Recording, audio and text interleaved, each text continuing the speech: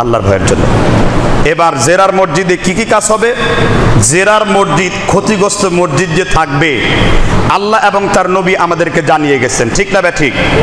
এই মর্মে হাদিস উল্লেখ রয়েছে, সুনানে বাই হাকি দুইশত আটানব্বই নম্বর মেসকাতের আরাফাত লাইব্রেরি, এর পঞ্চম নাম্বার ভলিউমের একশত সাতানব্বই নাম্বার হাদিস। তাহলে দুইটি কিতাবের দলিল দিলাম একটি মেসকাত আর একটা বাইহাকি এবার রাসূল সাল্লাল্লাহু আলাইহি ওয়াসাল্লাম বলছেন وعن علي بن طالب رضي الله عنه قال قال رسول الله صلى الله عليه وسلم সাহাবীর নাম কি বললাম আলী ইবনে তালেব রাদিয়াল্লাহু তাআলাহু তিনি বর্ণনা করেছেন, আল্লাহর নবী বলেছেন, ইউসিকু আলান নাসিস জামানা লা ইয়াবকা মিনাল ইসলাম ইল্লা ইসমুহু। হে আলী, কিয়ামতের পূর্বে এমন কিছু লোক থাকবে। লা মিনাল ইসলাম ইল্লা ইসমুহু। ইসলামটা শুধুমাত্র নামে মাত্র থাকবে। ওয়ালা মিনাল কোরআনি ইল্লা রাসমুহু আর কোরআনের অক্ষরগুলো শুধুমাত্র থাকবে।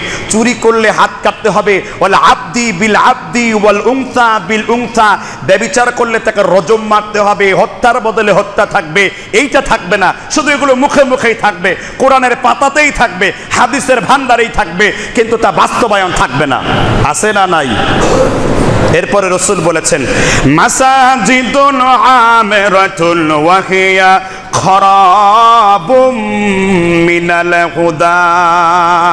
মসজিদগুলো থাকবে, মসজিদের দালানগুলো থাকবে, মসজিদের বিল্ডিংগুলো থাকবে, মসজিদের চাকচিক্য থাকবে, কিন্তু মসজিদগুলো থাকবে হেদায়েত শূন্য মসজিদগুলো কি থাকবে? এই হেদায়ত শূন্যর কাজটা কে করবে? রসুল তারপরে বলেছেন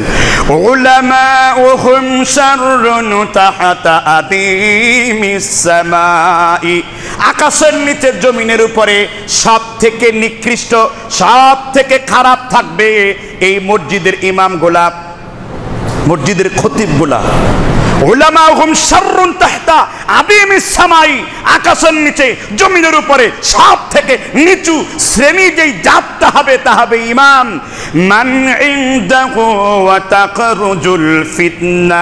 এবং সে ইচ্ছা মতো বিদাত আর শেরকের ফেতনা মসজিদের খুতবার মধ্যে ছড়িয়ে দেবে। তাহলে এবার আপনি বলুন যেই মসজিদের খুতবা শুনলে মুসল্লি বেঈমান হয়, যেই মসজিদের খুতবা শুনলে মুসল্লি কুফরি করে, যেই মসজিদের খুতবা শুনলে মুসল্লি পীরের পায়ে সেজদা করে, যেই মসজিদের খুতবা শুনলে মুসল্লি মাজার পূজা করে, যেই মসজিদের খুতবা শুনলে হাত রশি, নয় রশি চর্মনায় ফটিয়ে হয়, এই মসজিদকে আল্লাহর মসজিদ বলতে বলা যেতে পারে না। মাসাজিদুন আমেরাতুন ওহিয়া খারাবুম মিনাল হুদা। নিকৃষ্ট মসজিদ হবে এগুলা। এবার জেরার মসজিদ যে মসজিদে ঢুকবেন না, সেই মসজিদের পরিচয় কি? আবার সেই আয়াতে ফিরে যাই। সূরা তওবার 7 নম্বর আয়াত।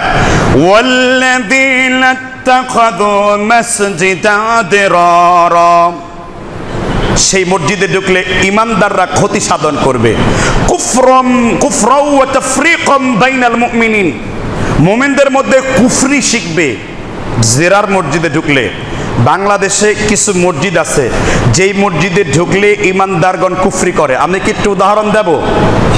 মসজিদ আছে, সামনে, পেছনে, উত্তরে, দক্ষিণে, কিবলার সামনে। কবর আছে, মাজার আছে। বিরাট বড় দয়াল বাবার মাজার আর ঠুঙ্গার মতন একটা মসজিদ। এমন মসজিদ আমাদের দেশে আছে না নাই?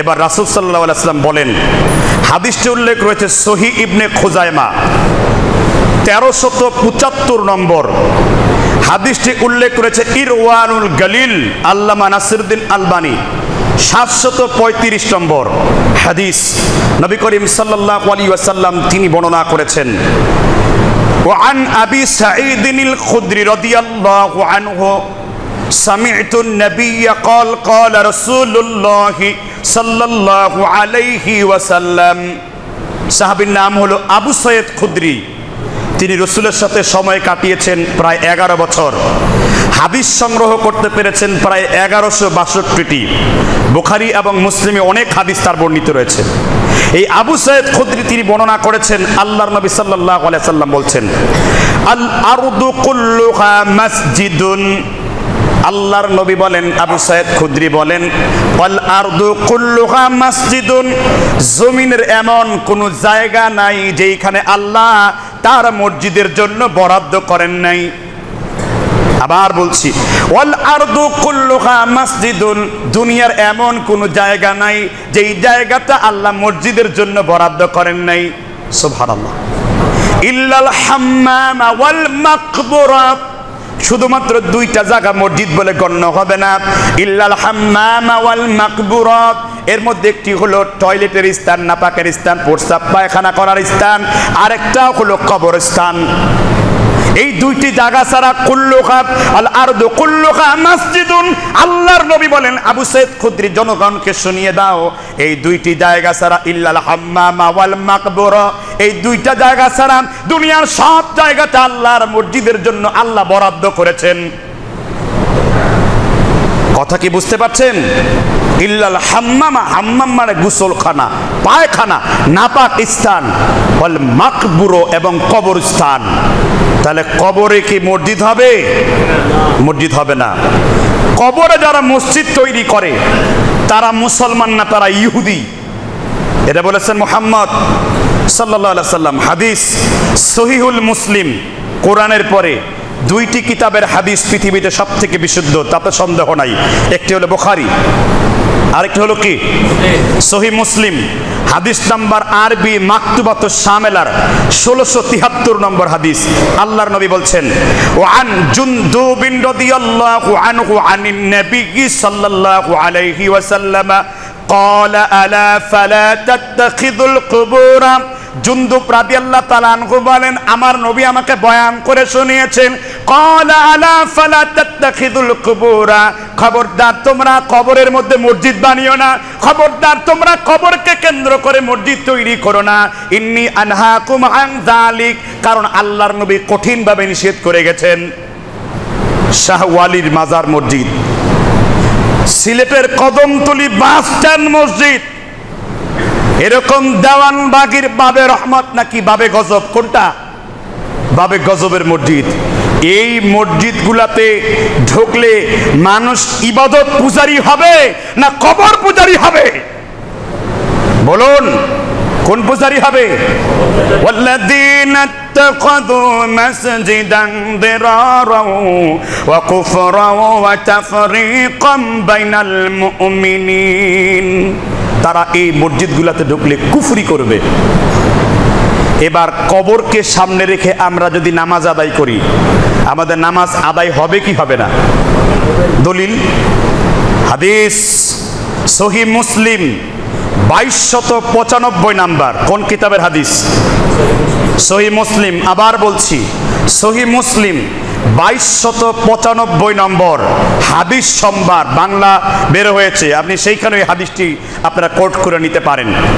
আর আরবি মুসলিমের বাইশশত পঁচানব্বই নাম্বার, আল্লাহর নবী সাল্লাহ সাল্লাম বলেছেন, ও আন আবি মারসাদিন কানাজি রাদিয়াল্লাহু আনহু, সামি'তু নাবিয়্যা সাল্লাল্লাহু আলাইহি ওয়াসাল্লাম ইয়াকুল। সাহাবীর নাম হলো আবি মারসাদ কানাজি রাদিয়াল্লাহু তাআলা আনহু বলেন, আল্লাহর নবীকে আমি বলতে শুনেছি। আল্লাহর নবীকে কি করতে শুনেছেন? ওয়ালা তাসাল্লু ইলাল কুবুর। কবরকে সামনে রেখে তোমরা নামাজ আদায় করো না। ওয়ালা তাসাল্লু ইলাল কুবুর। কবরকে সামনে রেখে কিবলা বানিয়ে তোমরা নামাজ আদায় করো না। ওয়ালা তাসাল্লু ইলাল কুবুর, কবরকে সামনে রেখে নামাজ আদায় করো না, ওয়ালা তাজলিসু আলাইহা, আর কবরের মধ্যে তোমরা বসো না যার চামড়াকে জাহান্নামের আগুনে পুরাতে চাও, তারা কবরের মধ্যে বসো, কিন্তু আমরা বুঝলাম বাবার কবরে বসি না কিন্তু আমরা ফুল নিয়ে কবরের মধ্যে আমার ভাইয়ের রক্তে রাঙানো একুশে ফেব্রুয়ারি।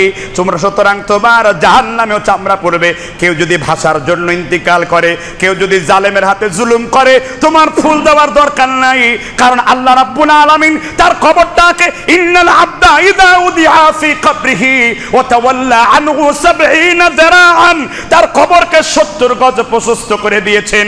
কাল কমারি লাইলাতাল বাদার এবং তার কবরকে পূর্ণিমার চাঁদের মতন আল্লাহ উজ্জ্বল বানায় দিয়েছেন।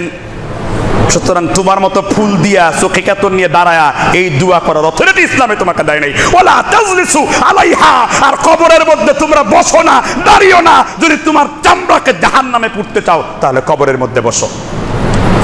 ওয়াকুদু আলাইহা রাসূল এই ইয়াকুদু আরেকটা ব্যাখ্যা করেছেন, তোমরা কবরে বসো না। ওয়ালা তাজলিসু আলাইহা ওয়া সুরুজ আলাইহা। কবরের মধ্যে আগর বাতি, লাল বাতি, নীল নীল বাতি, কোনো বাতি জ্বালায়ও না। এটা কে নিশ্চিত করেছেন? তাহলে কবরকে সামনে রেখে এই কবকে, এই যে নামাজে দাঁড়াইলো ইমাম, তার সামনে কবর। এবার কবরকে সামনে রেখে আপনি দাঁড়ালেন। রসুল বললেন, নামাজ হবে না।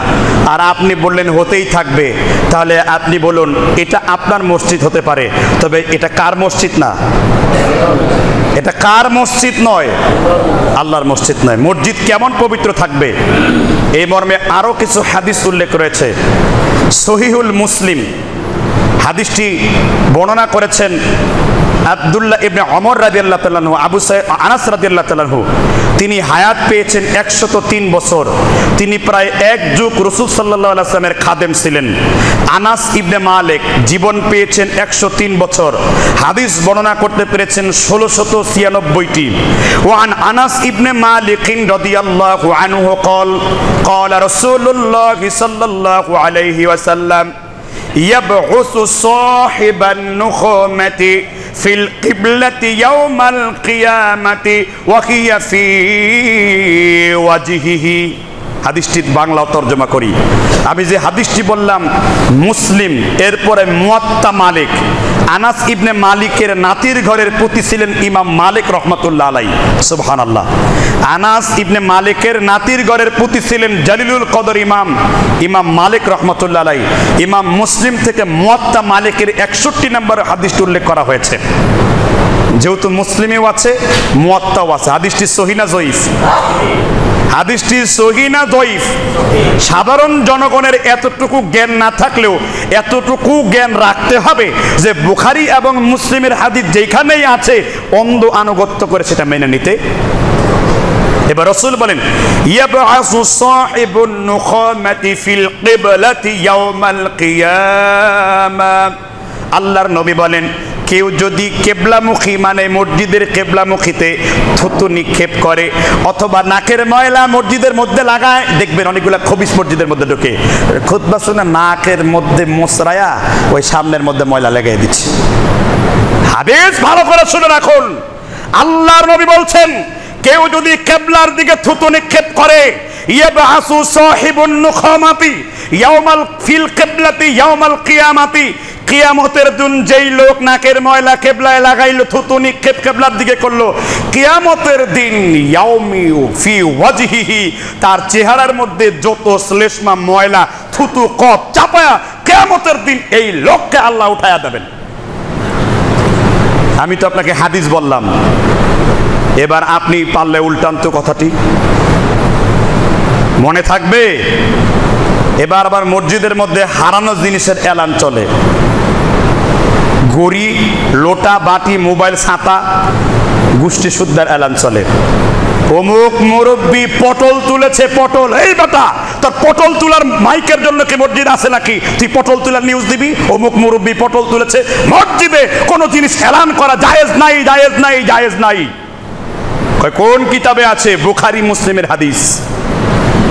কোন কিতাবের হাদিস বুখারি এবং মুসলিমের হাদিস রাসূল সাল্লাল্লাহু আলাইহি সাল্লাম বলেন ওয়ান আবি হুরায়রা রাদিয়াল্লাহু আনহু قال قال رسول الله সাল্লাল্লাহু আলাইহি ওয়াসাল্লাম কোন মানুষ যদি হারানো জিনিসের এলান করে কোন মানুষ যদি হারানো জিনিসের এলান করে লা রদ্দাহাল্লাহু আলাইক হে দুনিয়ার মানুষেরা, তোমরা দোয়া করো আল্লাহ। ও যেন কোনোদিন এইটা খুঁজে না পায়। মোবাইলের এলান করেছে, বলবা আল্লাহ, জীবনে কোনোদিন এই লোকটা যেন মোবাইল খুঁজে না পায়। রদ্দাহাল্লাহু আলাইক। কোন হারানো জিনিসের এলান করলে মনে মনে আপনারা দোয়া করবেন, কশ্চিন কালো যেন খুঁজে না পায়। কে বলছেন? রাসূল বলছেন, ওয়া আন্নাল মাসাজিদা লাম তুবনা লিহাদা। এই কামের জন্য মসজিদ তৈরি করা হয় নাই। মসজিদ তৈরি করা হয়েছে আল্লাহর ইবাদত করার জন্য। কিন্তু দুর্ভাগ্যের বিষয়, আমাদের দেশে এগুলা হয় কি হয় না? হচ্ছে। এরপর নবী করিম সাল্লা সাল্লাম অত্যন্ত ভয়ঙ্কর কথা বলেন যে কিয়ামতের দিন কিছু লোক আসবে, মসজিদের মধ্যে হোলাকা করবে মানে গোলাবৃত্তি হয়ে বসবে, বসে দুনিয়াবি বিভিন্ন নাজাইজি কথা মসজিদের মধ্যে বলবে।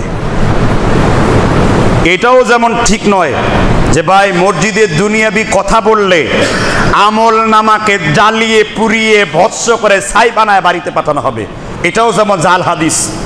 যেই কথা বাইরে বললে গুণা হবে সেই কথা মসজিদে বললেও যেই কথা বাইরে বলে সুয়াব হবে সেই কথা মসজিদে বললেও এই মর্মে হাদিস উল্লেখ করেছে সহি বুখারি সহি মুসলিম তিরমিজি আবুদত নাসাইর প্রায় আঠারোটি কিতাবে হাদিস উল্লেখ করেছে এর মধ্যে সহি মুসলিমের তেরোশো চুরানব্বই নম্বর হাদিস আল্লাহর নবী সাল্লাহ আলাইহি সাল্লাম বলেন وعن عبد الله ابن مسعود رضي الله عنه قال قال رسول الله صلى الله عليه وسلم يكون في آخر الزمان أمة يجلسون في المساجد حلقا حلقا إمامهم الدنيا فلا تجلسوا بها فإنه ليس لله فيهم حاجة আমি লাম্বা একখান হাদিস পড়লাম এবার হাদিসটার অনুবাদ শুনি ইয়াকুনু কওমুন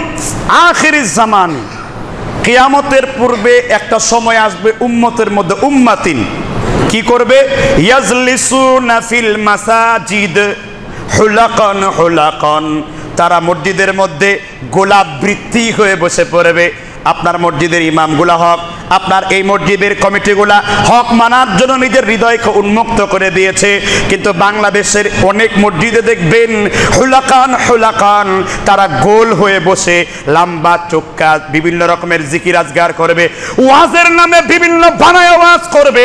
ইমাম আহমদ দুনিয়া আল্লাহর নবী তারপর বলেন, তাদের ইমামগণ দুনিয়াবি কথা বলবে। ফালাতু এই রকম মজলিসে কখনো বসো না। এরপরে আল্লাহ বলছেন হাজা।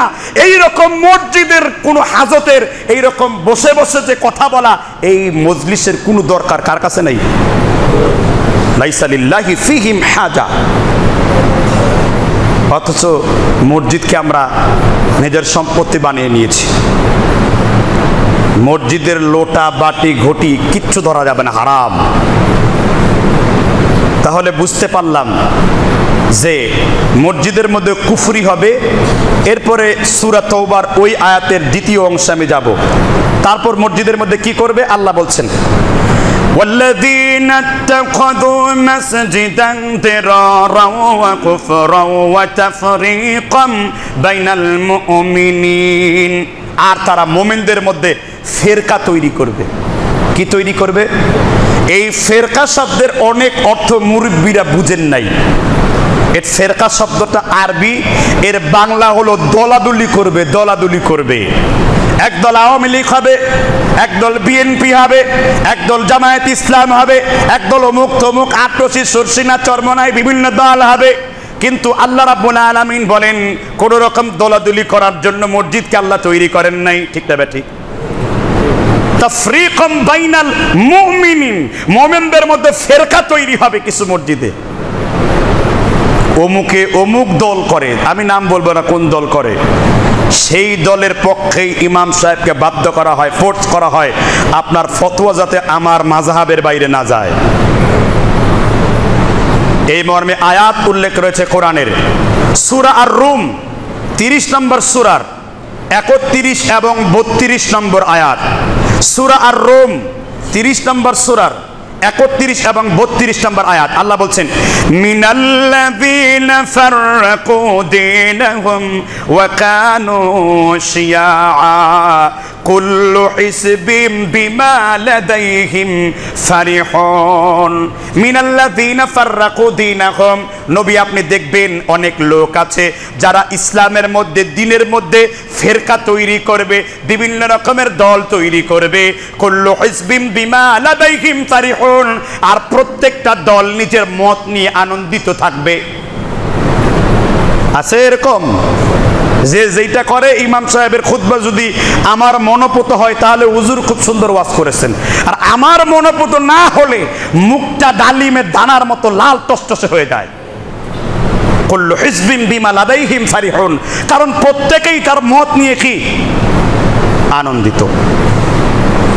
এরপরে আল্লাহ তালা এইরকমই আরও একটি আয়াত, সৌরাতুল আনআমের একশত উনষাট নাম্বারে আলোচনা করেছেন।